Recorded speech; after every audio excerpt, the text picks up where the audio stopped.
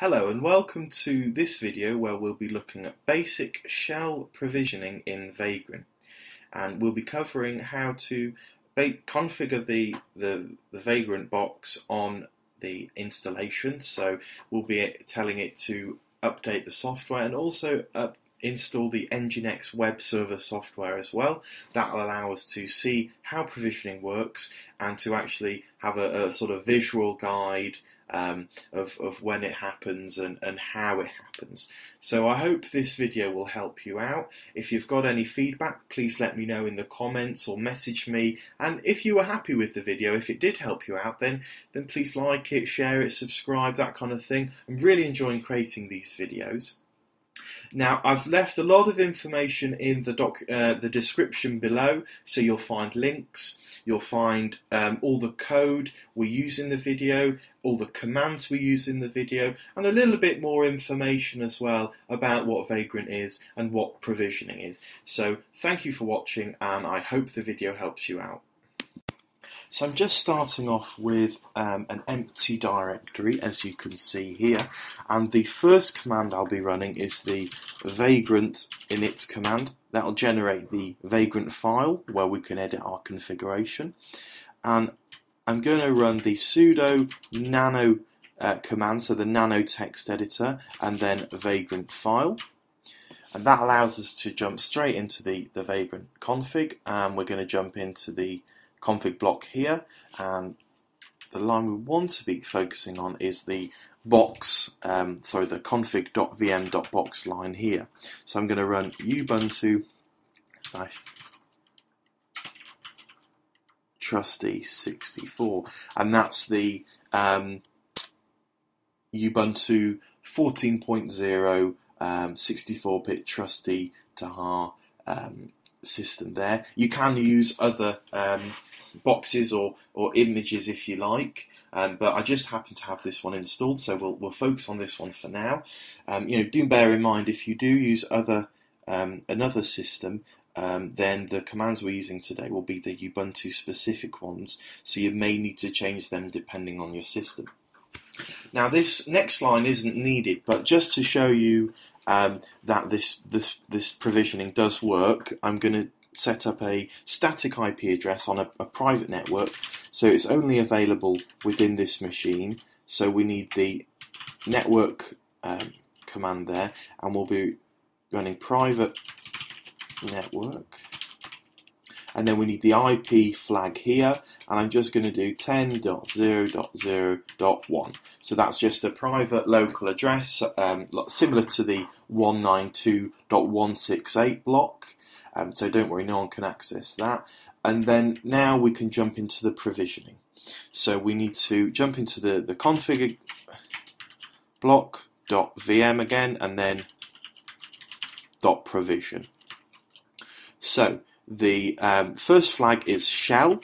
That's what we'll be using today. Now, Vagrant does support lots of different pro provide, uh, provisioning providers out of the box, such as Chef, Ansible, uh, Docker, and many, many others. Please check out the documentation that I've left uh, in the description, a link there, so you can have a look. Um, and it all depends on what you need. So, you know, if you're just learning or you're just generally interested in Vagrant, then um, then shell is, is perfectly fine to begin with. But if you have maybe a, a large scale app or, or development environment, then maybe it's worth looking into Docker or Chef or, or something similar. You may already use one of those. So we might look at that in future videos, but today we're just looking at the, the basic shell um, provisioner.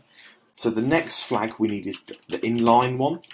And what that means that will run this command um, as part of the vagrant up process. So when we actually start the, the box, um, and that will run sort of in, in parallel if you like. Um, so we won't actually have direct access to, to these commands, they'll just run automatically, which is fantastic, which is what we want. So we need to do um, this shell here, and then we're going to jump into the, the block. Sorry, I've just noticed a spelling mistake.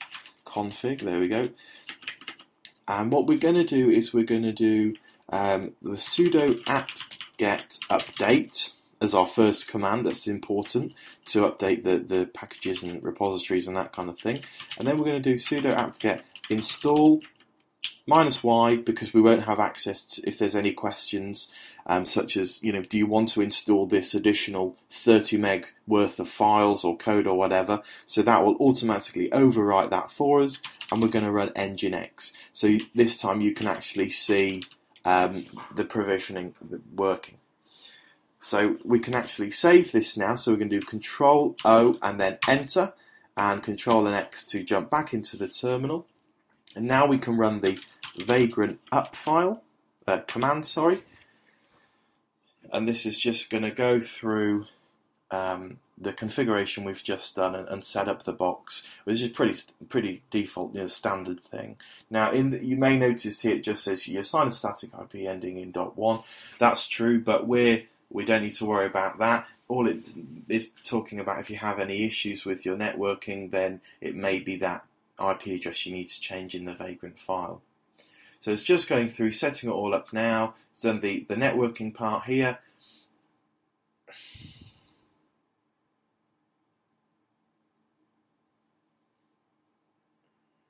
It's just doing all the uh, SSH keys and, and, and the configuration and that kind of thing. So now it's run the shell provision as you can see here. And this is the output that it's getting. So first of all it's running the sudo apt-get update command. And this is what's happening now. So we're the first part of the, the configuration. And then we should now see the nginx uh, command somewhere. Here we go, Nginx Common, Nginx Core. So now it's installing all of that. And because we've added the dash Y flag into the uh, command, that's that's working fine. Okay, fantastic. So that's all done now. So the Vagrant machine is, is ready to up and run. So the first thing I'd like to show you is, is just the actual Nginx software running. So I'm going to run the sensible browser command. I'm going to HTTP, I'm going to 10.0.0.1, which was the IP address we entered in. And if I run that now, there we go. You'll see, welcome to Nginx on Ubuntu. So that was really, really quick and simple and easy. And you can imagine how powerful this is depending on your, your use case, your scenario.